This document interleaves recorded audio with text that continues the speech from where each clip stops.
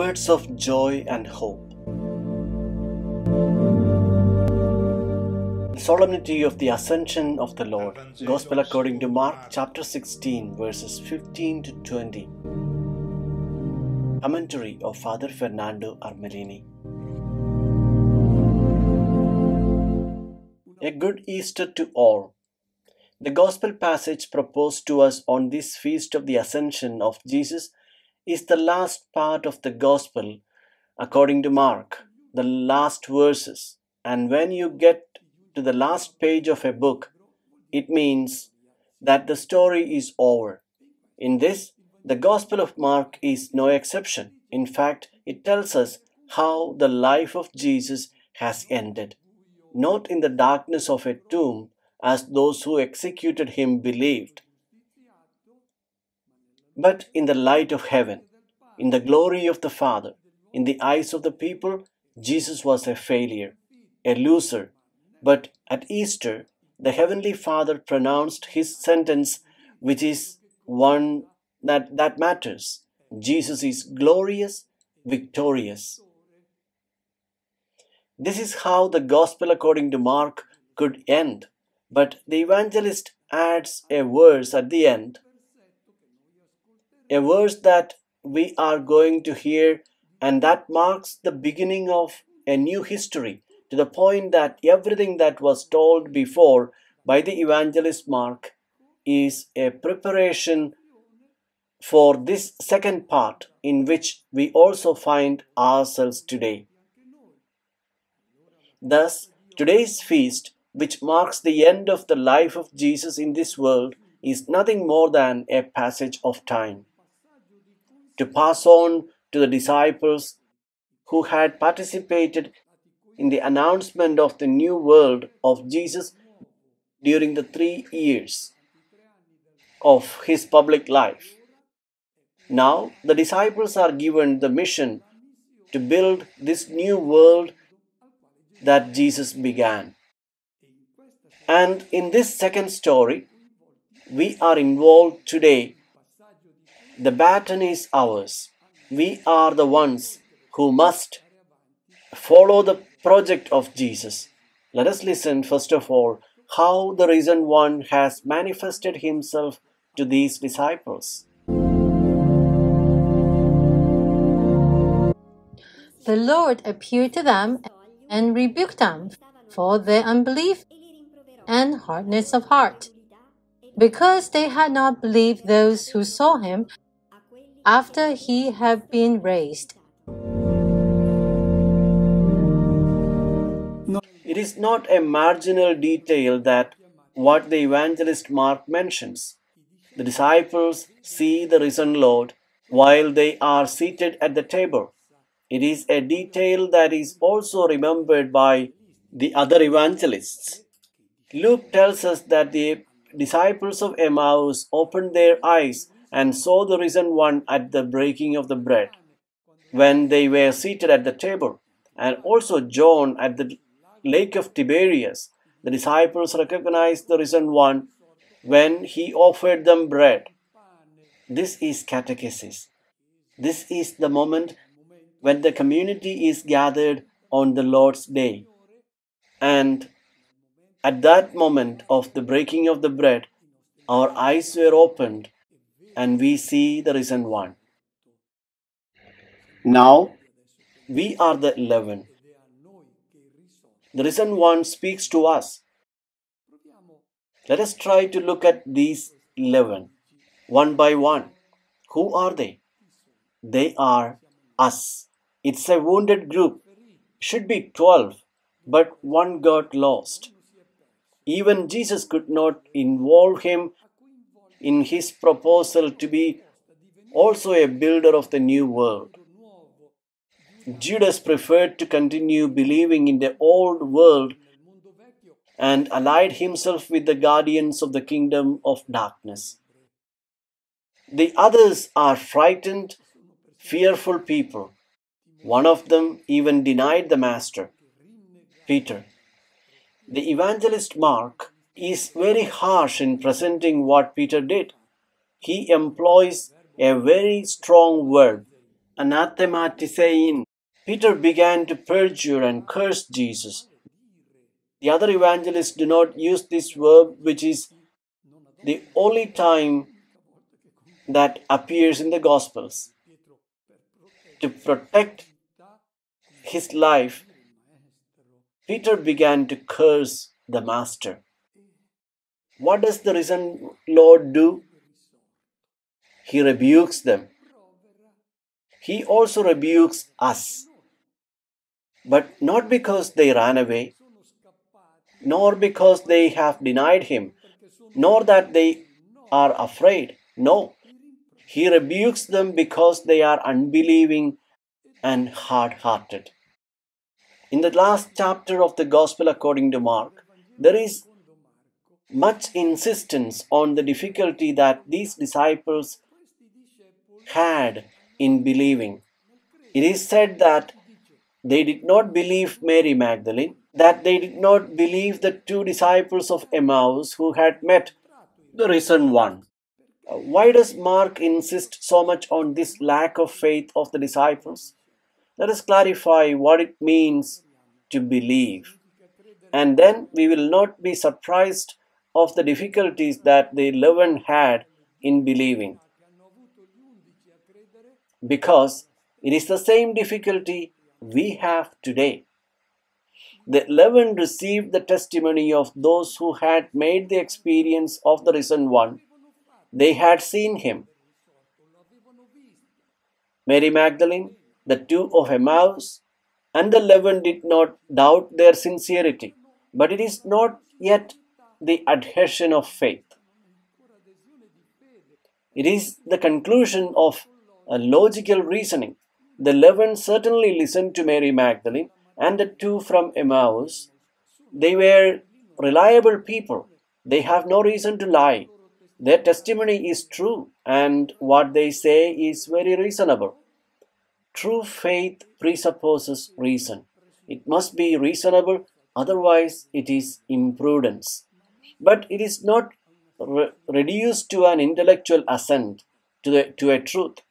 To believe in Jesus is a choice of love.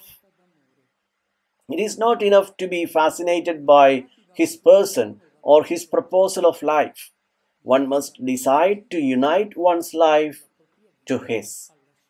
And this is difficult because Jesus' proposal goes in the opposite direction to what our human nature suggests. And the disciples found it hard to believe because if Jesus is risen, if the Father has received him in glory, then that means he was right. He was right when he said that whoever keeps life for himself loses it, but he who gives it realizes it in fullness. If Jesus has risen, then the successful person is not what the disciples have in mind, but that of the one who gives all of himself or herself for the joy of the world. Then, if Jesus is risen, all the dreams of glory that Peter, Andrew, James, John, they had, that we have cultivate, cultivated, must definitely be put aside. That is the difficulty to believe. In these doubts,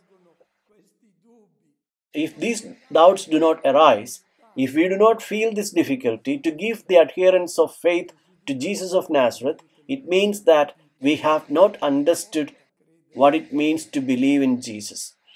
The hardness of heart, the doubts of these disciples are ours.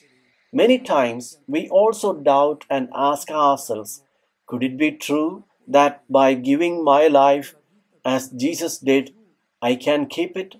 Wouldn't it be better for me to do what everybody else does? If I give up enjoying life, won't I regret it in the end? This is the difficulty in believing. It means to give the adhesion to the proposal that Jesus makes to us. And let us notice that Mark wants to make us feel close to these 11. It doesn't say that after the re- reproaches that he made to them, Jesus showed them signs to induce them to believe, as it happened at other times in the manifestation of the resurrected one. Look at my hands, my feet, or to Thomas, put your finger in my side. No, he does not give them any sign. He left them in the condition of the one who is called to believe, in the testimony of the one who has seen the risen one. And today we believe in the testimony of these eleven, whom we thank because they were the ones who gave us Jesus and His gospel. In spite of their frailty and their weaknesses, they carried out their mission. And if they, if today we have the fortune to know Jesus and discover the treasure of the gospel, we owe it to these 11 witnesses, people of little faith. After the rebuke to these 11, because of the fragility of their faith, we would expect that before entrusting them with a difficult and demanding mission, Jesus would ex- expect from them a sign of repentance, a realization of their unworthiness. Instead, let us listen to what he is asking for to these weak and fearful disciples, and this is what he asks of us today.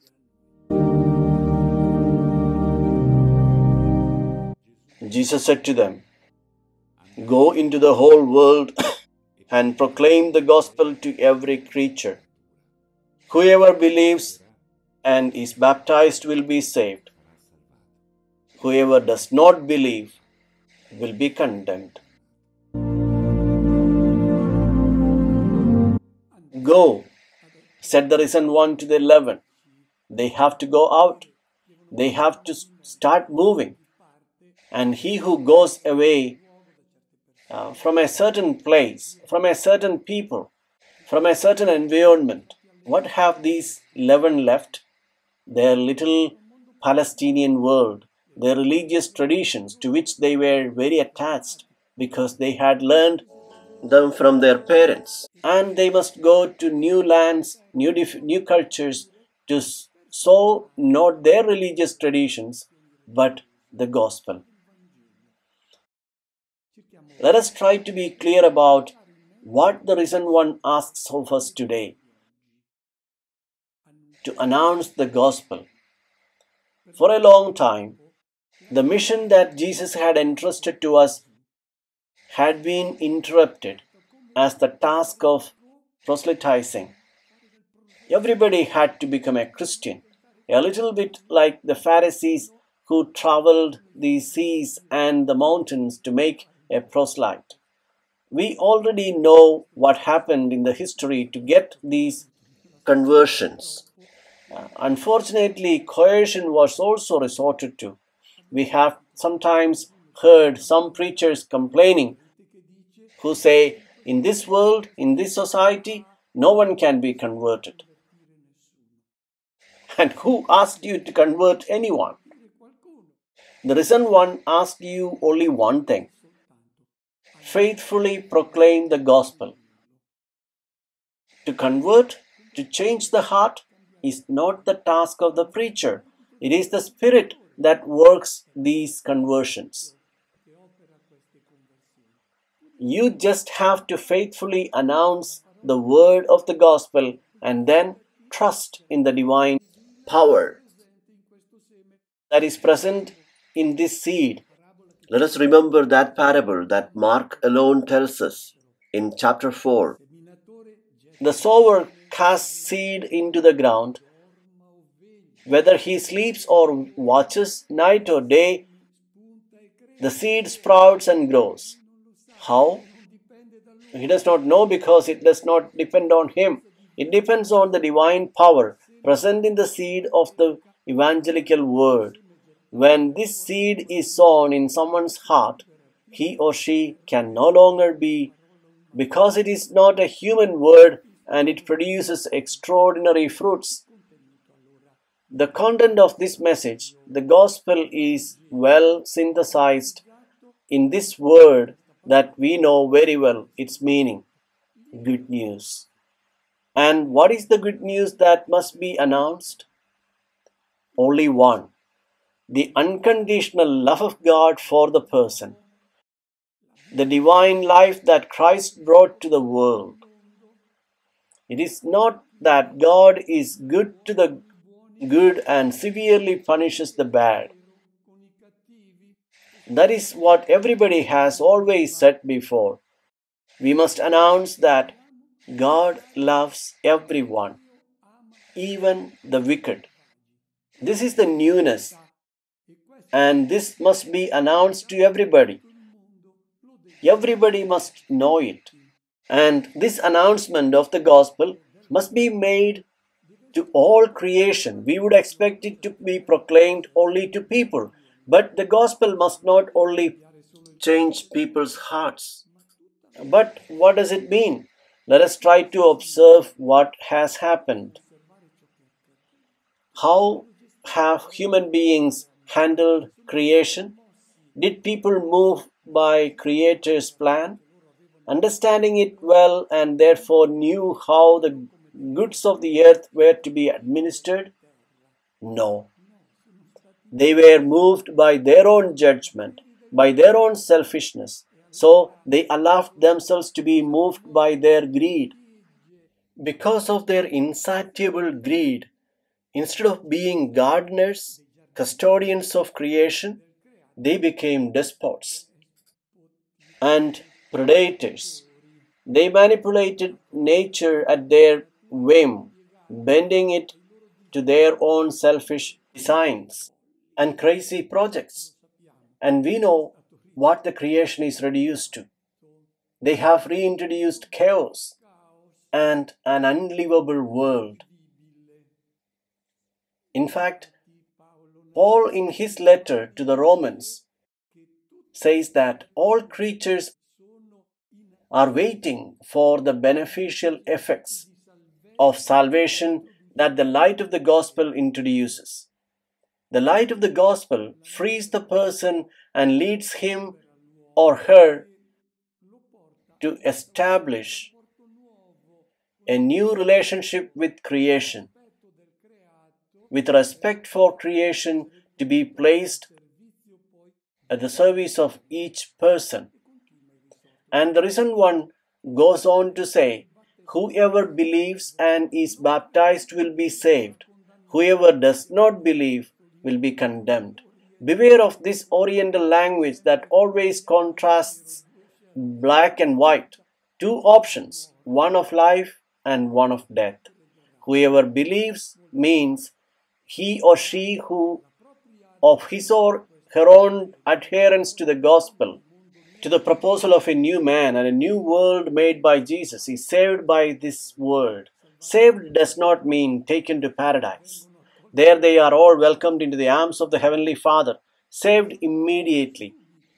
That is, if one adheres to the gospel, he or she realizes in the fullness of his or her own humanity. If, on the other hand, the person does not adhere, he or she is not saved. He or she does not allow to be saved and therefore does not become humanized because the one who builds a life on proposals different from that of Christ does not build in fullness his or her own existence. And baptism is the sign of this total immersion as branches to the vine, immersion in the Spirit of Christ.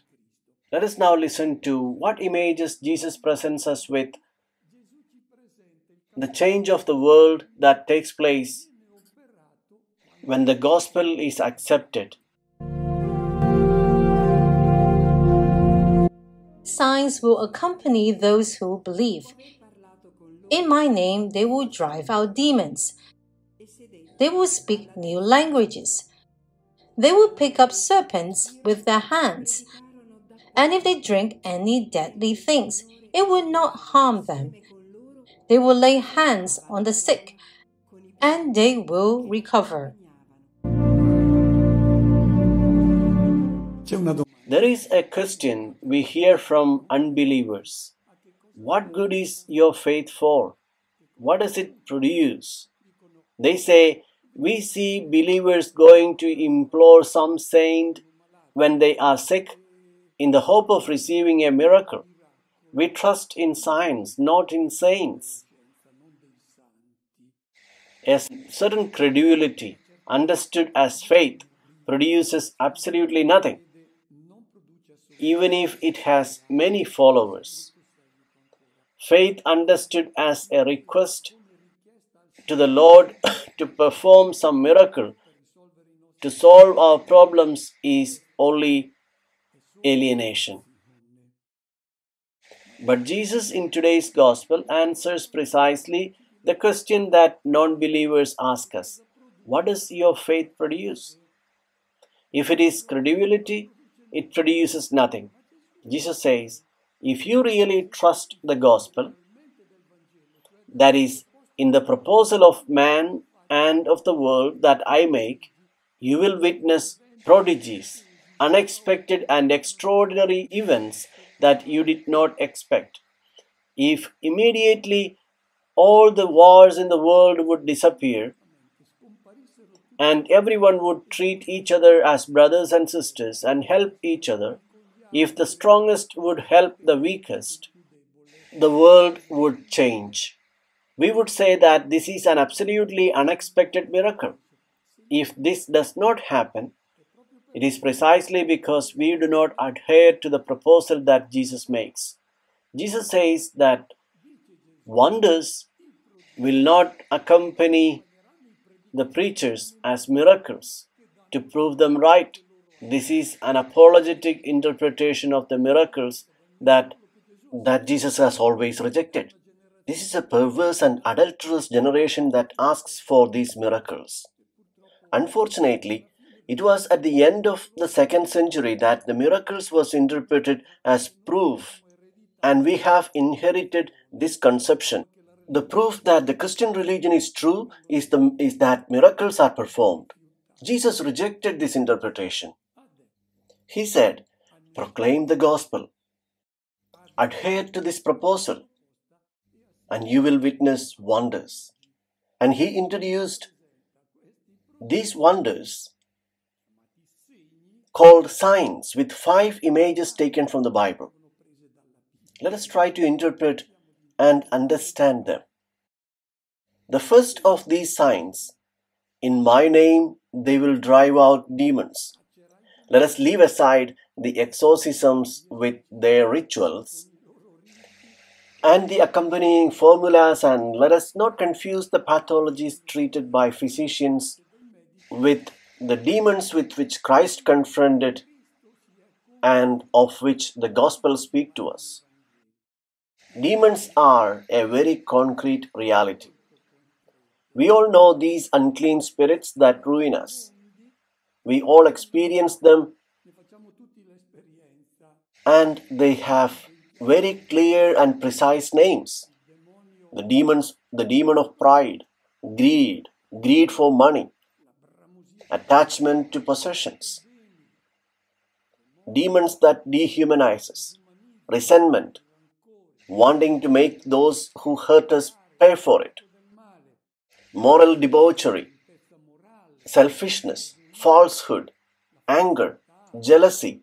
These are the demons dehumanize us and make us violent, cruel, insensitive to the needs of the poor. They make us less of a person and even a bit of a beast. These are the demons that are cast out, not with holy water, but with the gospel. Where the gospel arrives, these demons disappear. If a family is divided by envy, by attachment to possessions, by moral licentiousness, sometimes division between husband and wife, if the gospel comes, these demons disappear and we see unexpected prodigies.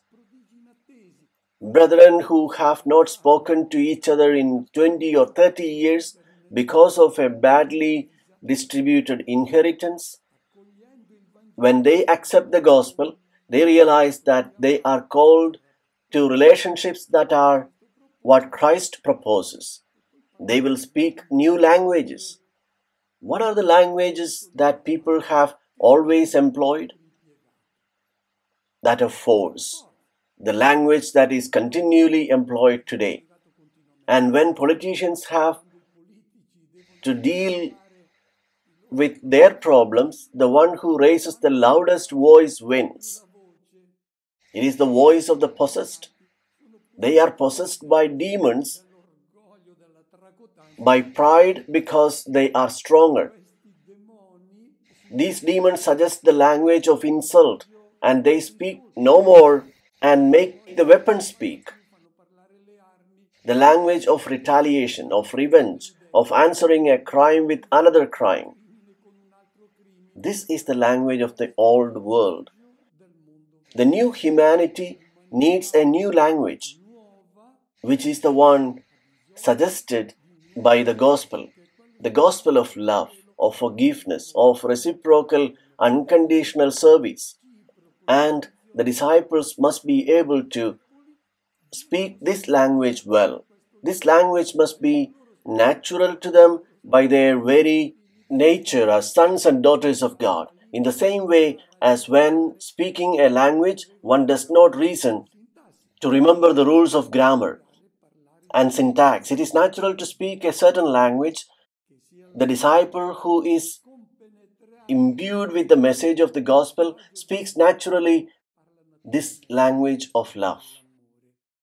They will, they will pick up serpents with their hands. This is also a biblical image.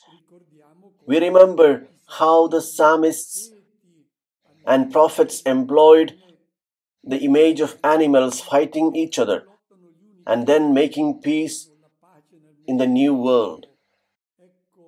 Through these images of the animals, the kingdom of God is indicated where there would be no more room for hostilities rivalries, aggressions between people. And these serpents are the image that we find at the beginning of the Bible. The serpent that tells people to run away from God. Jesus says that the gospel immunizes you from these serpents. The disciples should not be afraid because the strength they have received from Christ, from His Word, makes them invulnerable. Let us remember that Luke, what Luke reminds us in chapter 10, the words of Jesus I have given them power to walk over serpents and scorpions and over all the powers of the enemy. Nothing can harm you. Another comparison if you drink any deadly thing, it will not harm them. There is a lot of poisoning circulating in our society. He or she spreads poison who trivializes the sacredness of love and marital fidelity. He or she spreads poison with uh, who no longer distinguishes between what is good and what is evil between what is true and what is false, for whom everything is valid and also its opposite, and in the end, one does not know what to do. The norm becomes doing what I like. Thus, poison is scattered. It suggests as it suggests as a norm of life the unconditional pursuit of pleasure as the highest good. These are the messages that are poisoning the new generations. In spite of everything, we have to drink some poison. Jesus says that the gospel immunizes you. You can get a little dizzy and even think that what the media tells you is true. But if you have absorbed the gospel message you will realize that they are not the ones who are right. It is Jesus of Nazareth who tells you the truth about the person. and then they will lay hands on the sick and they will recover. It does not say that they shall be healed. The Greek text says, kalos hexousin, will benefit from its this laying on of hands. Healing are performed by physicians, but the reception of the gospel makes you understand and also give you meaning even to these moments of weakness and fragility that are part of our human condition. And when you reflect with serenity on this reality and accept this condition, it helps you also to obtain a greater beneficial effect of the meditation medications that the doctor prescribes for you. And now the handover takes place. Jesus has completed his mission and now it is our turn to carry out carry it to fulfillment. Let us listen. The Lord Jesus, after he spoke to them, was taken up into heaven and took his seat at the right hand of God. They went forth and preached everywhere, while the Lord worked with them and confirmed the word through accompanying signs. According to the people's judgment, Jesus was a loser, a loser who ended up in a tomb. Then they rolled a huge stone in front of this tomb, and, and that was the end. It is a saying that we also say to cover something with a stone, which meant it's all over. The evangelist Mark says at the end of his gospel that things did not end like that and presents God's judgment on Jesus of Nazareth. He presents this judgment using the cultural criteria of his time. He says that his story did not end in a tomb, but that he was taken to heaven and sits at the right hand of God. Heaven is not the atmosphere, it is the abode of God, the Father's house, not in the grave, but in the glory of the Father's house. And then he sat down at the right hand of God. This is an image reminiscent of the customs of the Oriental courts, where the subjects who had shown loyalty to their Lord were placed next to the king in the presence of all the people. And before all the great king made them sit at his right hand. Let us remember the words of the psalmist who addresses himself to the king of Israel on the day of his enthronement with these words The Lord says to my Lord, Sit at my right hand. That is, it is the invitation to all the people to consider this king of Israel as the protege of the evangelist wants to tell us that Jesus of Nazareth the defeated one has been proclaimed by God as his faithful servant. And for this and for his faithfulness, the Lord has exalted him. He has given him a name above every other name. As the letter to the Philippians says, To him has he subdued every creature. As Paul's letter to the, the conclusion, the disciples went forth and, and preached everywhere, while the Lord worked with them and confirmed the word through accompanying signs. The final message is to tell us that the disciples should not feel alone. Jesus, who traveled the roads of Palestine, and was physically with his disciples has not gone away. He is no longer where he has where he was then, but he is where we are today. He is always with us at all times and accompanies our announcements with signs. Let us keep this in mind and let us ask ourselves Does the word that we proclaim produce these wonders, these signs? Because if these wonders do not occur, then we have to ask ourselves if the gospel that we proclaim is the authentic one because the Lord said that the adherence to His word will produce extraordinary signs. I wish you all a good Easter and a good week.